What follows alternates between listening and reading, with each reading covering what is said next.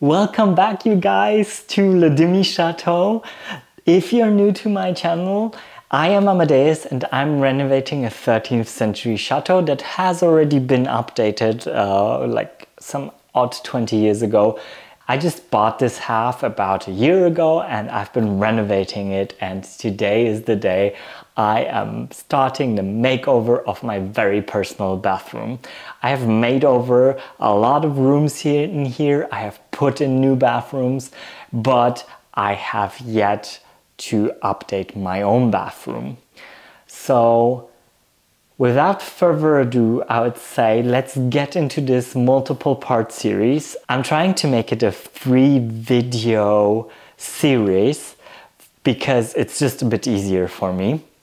And I can't wait to take you along and to, I've showed you my ideas if you've been following my vlogs. If you haven't, then check out my vlogs. And um, yeah, I'd say let's go. I'll first show you around and show you what I want to do. And today we're updating the cabinet. So it's this odd, ugly thing we're actually updating. And I also want to do the ceiling because I'm planning to do this room in two parts. So I will have a part that is darker then some molding and then we'll have the ceiling and a part of the ceiling uh, in a lighter beige color. So the color palette I was thinking about is kind of moody, very dark. So we're starting off with the cabinet. I didn't want to remove it. At one point I will actually renovate this space completely, but this is a budget renovation. I found some stuff to make this kind of furniture look like it's wood. So I want to have this feeling of like dark, rich wood. So fingers crossed that it will work and that we'll manage. It's gonna be a lot of like taping off. But first off, before we begin, I want to start with the ceilings. There is a few holes that need to be closed up in the ceiling and there's also some stuff that we just need to like paint over. We need to remove the light.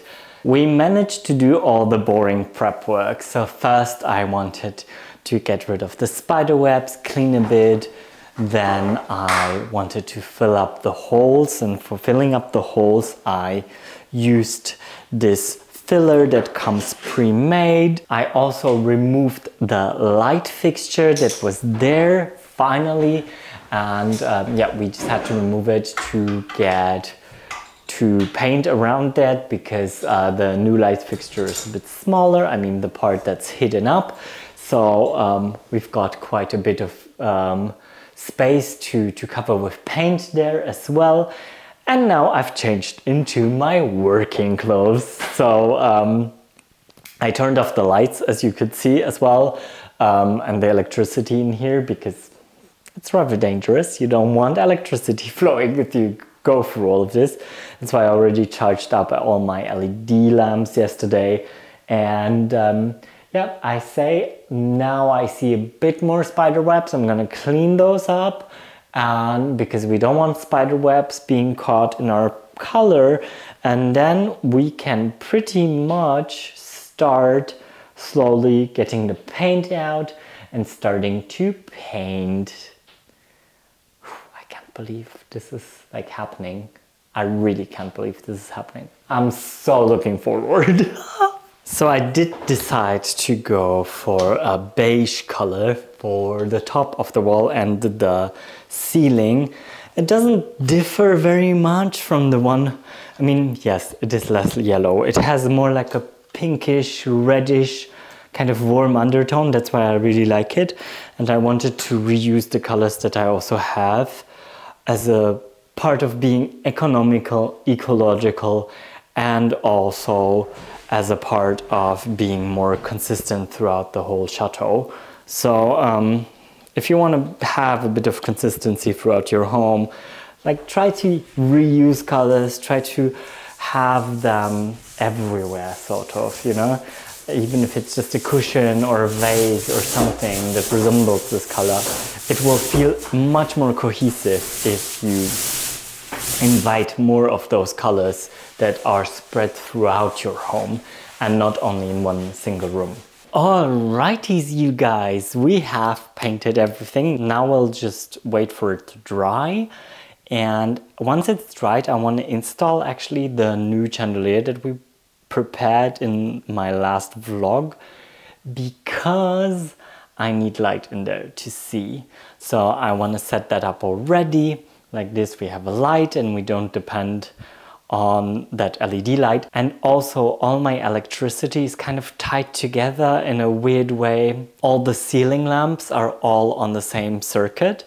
So if I don't put something in there, or if I if I put on the circuit basically, um, I won't. I will have electricity on it, but um, there won't be light in the bathroom. So I really need some light in there. So I had to redo some of the electrics um, to fit our new beautiful, new old chandelier. And maybe I can rest it on top of here while I connect it. And um, yeah, I think go a bit higher. Sorry that you can't see me. So let us try mounting this baby, this baby. Ooh. Ooh. Ooh. Let there be light. It will look so, so cute when you come in. So that's kind of the first step. Oh, so nice, so nice. Now I have time to actually like focus on the vanity and um, try out this paint. I'm really looking forward to trying this out and trying to see how it looks and how it will act and I, I just can't wait to, to actually try it. And now that I'm seeing it, I'm also actually also considering maybe to paint the molding in a different color, but I'm not really sure. I'm kind of afraid that in this black or it's a very, very dark gray, it, the molding might get lost and it's kind of sad if it does. But I'm already like, I mean, like just installing this light here already makes it feel so much nicer and so much cuter. And already painting the ceiling a different tone already gave the room a totally different look. So um, yeah, let's carry on with the cabinet. For me tomorrow, for you in a second.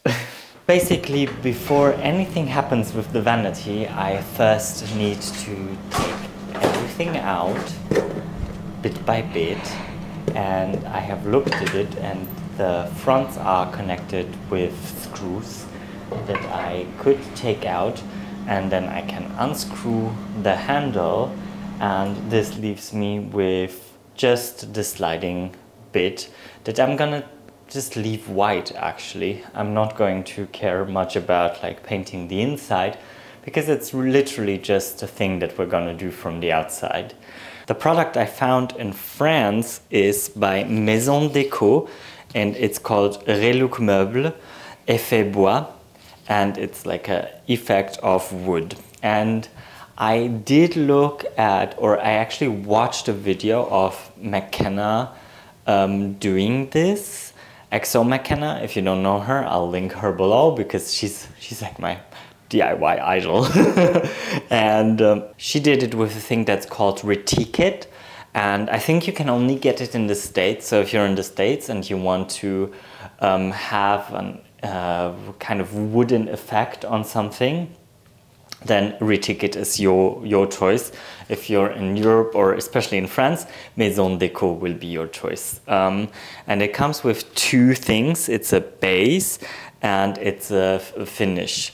So the base creates this kind of look of wood and the finish just puts the color on top of it. And between those two, I need 12 hours of drying. So um, I'll probably won't be doing it until noon because I need to prepare everything, as you could see, but um, then we can put the base and then the next day I can put the finish. I really want to do it precisely and to have a nice effect. So I'll just finish up like removing everything bit by bit and then I'll see you once everything is prepared to be painted.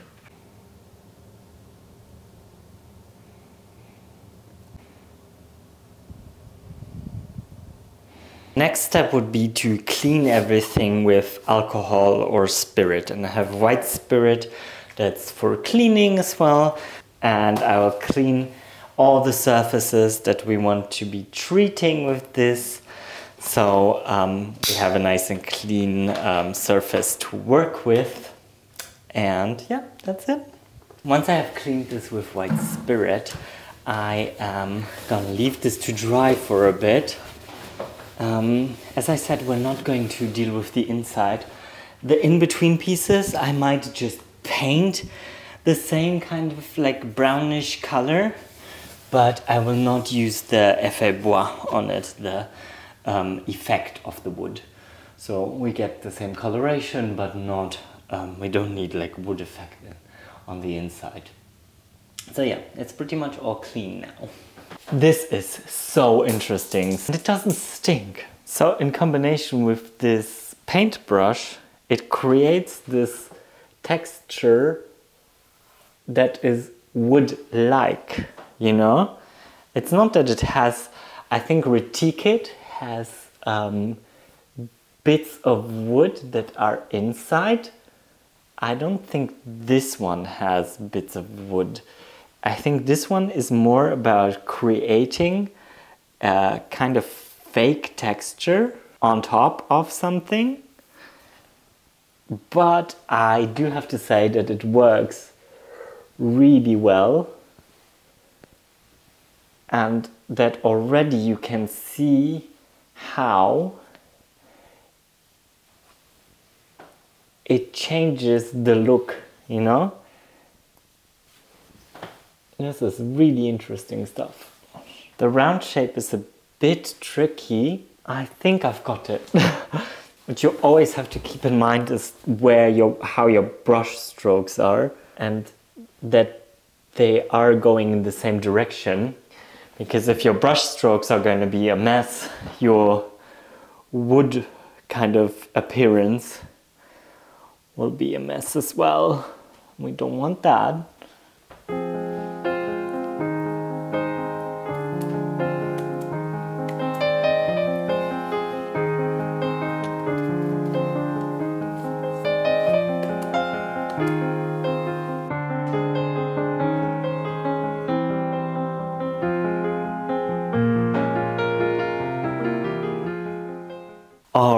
Alright, we just finished painting it all and this needs to dry 12 hours it says. I hope it's gonna turn out good. The ridges of the shelves and the doors, mm, I'm not quite sure, but we'll see. We'll just see from there. Um, I'm not to stress about it and um, we'll just see how it goes. I'll wash out this brush because I think we're going to need this brush also to apply the next coat, which is the finish coat, which will make it look like, which will give it the wood color. But you can already see the wood texture and I really don't smell anything. So this is like a really huge plus point. Let's just wait those 12 hours. It's 12 o'clock right now. So probably I'm gonna even let it dry overnight and then we'll do all the small bits and pieces to continue this reno. Welcome to my little strange atelier. It's really hideous outside, so I want to make it quick. Um, you saw that they these are the buttons that have been on there. I mean, they're not buttons, they're door handles. Um, so I want to spray paint these in um, gold because it's going to be much more matching than this. You know, people who know me know that I'm not a very silver person. So I already bought like spray that works really well. I just wanted, wanted to do this quickly before I go for a walk with Anita. So let's get on to it. I'm gonna put them out evenly so that we have them here so we can spray them nice and easy. Always spray outside.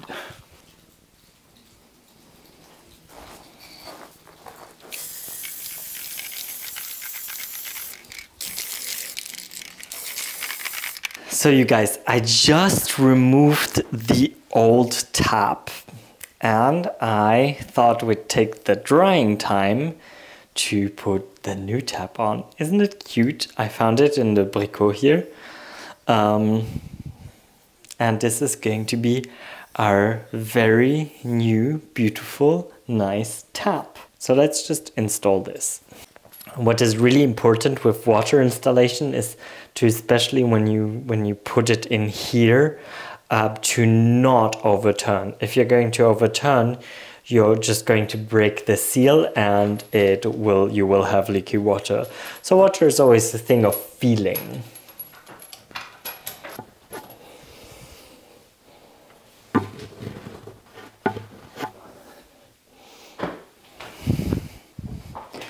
We've got running water, hot is hot, and cold is cold. It's a bit prettier than the last one. Mm. Welcome back to the darkness.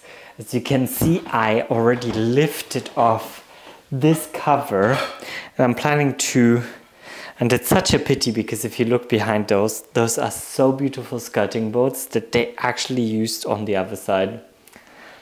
I think I already commented on that a while back. I do not understand this logic, but oh well, it's whatever it is. But we're going to paint these covers as well, and I'm I'm still not sure if I want them black or if I want to paint them maybe some kind of poppy other color. I'm not sure. Or if we leave them like this. I'm like kind of like in between.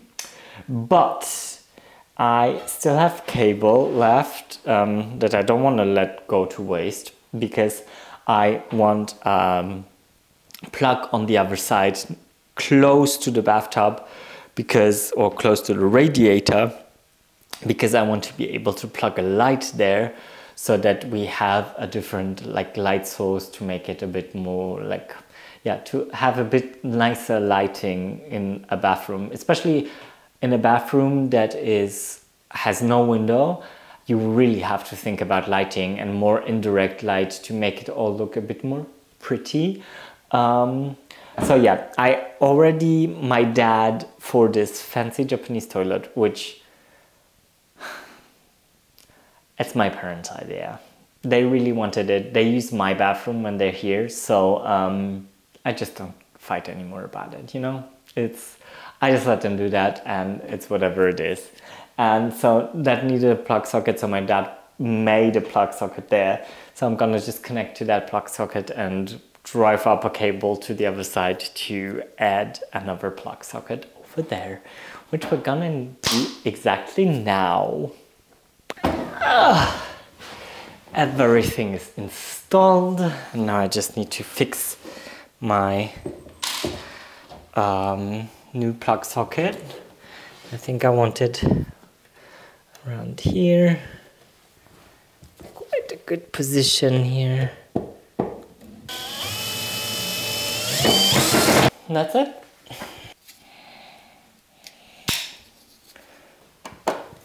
Ladies and gentlemen, we've got ourselves a new plug.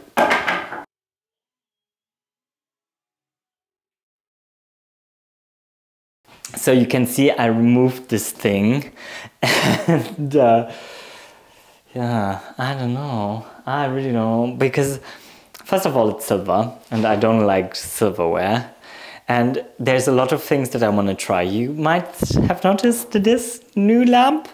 I bought this one um, also. So I just plugged it in a new plug that we did that we made. And um, the other silverware, the towel holder and the paper toilet paper holder, I am going to um, spray paint. So that's the idea. But this one, I don't really see the purpose in it because it's above the radiator. I never used it for towels or anything because you can't put a towel here because it will just like, it's not high enough. If you put a towel in front of it, it's gonna hang all in front of the radiator and the radiator won't heat the room. and It's already small, that radiator, so no. So that's why I decided like, I think I'm gonna take this out. I'm gonna close it all up and I want to find a way to attach my ladder that I have, the bamboo one, and kind of find a way here. Just the next morning, it's really cold outside and it is time to put the next step on onto our cabinet which is the finition, the finish. So it's kind of like this, I don't know if you can see it, it's this dark brown color which I wanted and apparently you also put it on with the brush and um, yeah, we're just gonna see. I'm gonna start at the side and then we'll show you how it goes. I'm so excited to try it and oh, I can't wait. I really can't wait. I still did a few corrections here and there that I thought like wasn't so well done yesterday after it dried a bit. So um, let's see how it goes now once that it's completely dry. I'm not sure how it looks on camera, but in real life it's complicated. I mean, if you have um, a lot of straight lines, it's no problem because it's actually quite nice and easy. But as soon as you encounter a bit more wavy things, so I'm, I'm kind of like, yeah, let's, let's see how the insides are going to turn out because I'm kind of like worried about them, you know, this, this kind of dips in the shelving. We'll see, we'll see how we'll deal with it. But the rest is actually like, if it's, if it's straight, it looks actually quite cute. So um, I'm kind of hoping that we'll get there. I think it's a matter of learn of learning and then we'll see how to do it. anything that's straight is actually not so much of a problem. But yeah, as soon as you have something that goes there, it just screws up the whole pattern. So you really need to be careful and mindful. I think that's not the problem with Retique It. And I'm kind of thinking maybe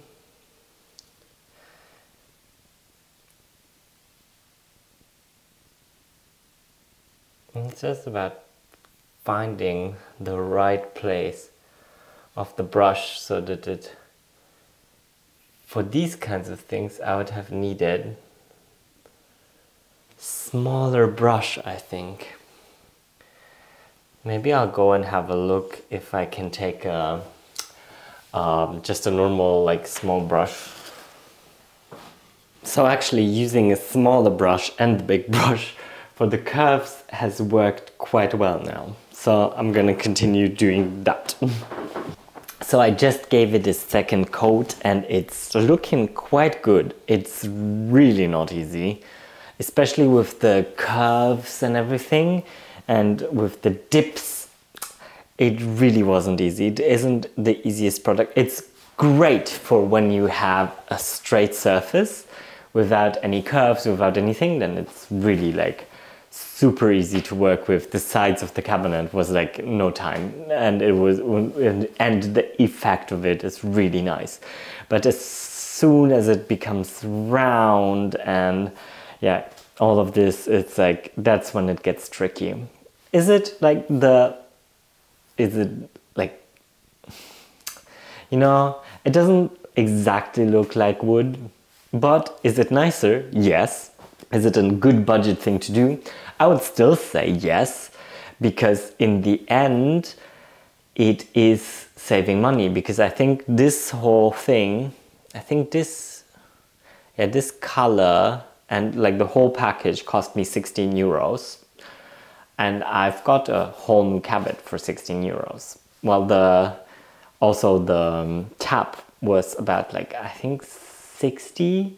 So yeah, and the tap I would have had to buy, buy anyway, even if I would have done it, redone it myself. So um, it is a good solution. Is it forever? No, but I never planned for it to be forever, so it's all fine.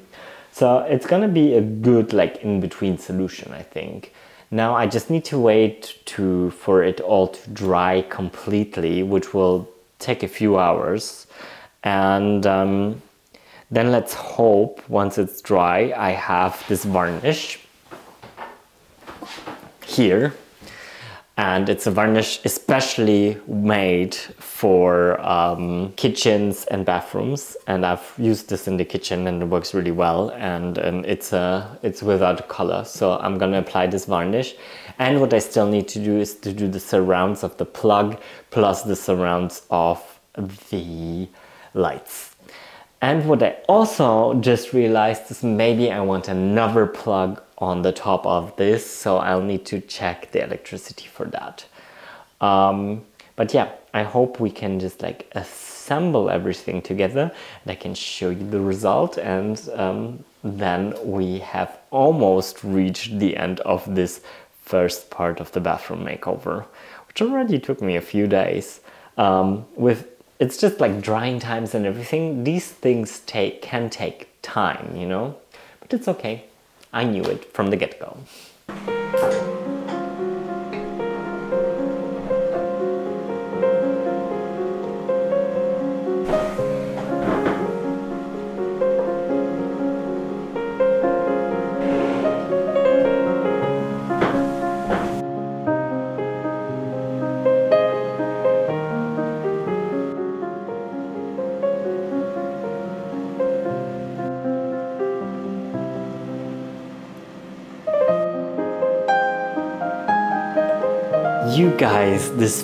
Part is coming to an end and we've achieved a really rather nice look.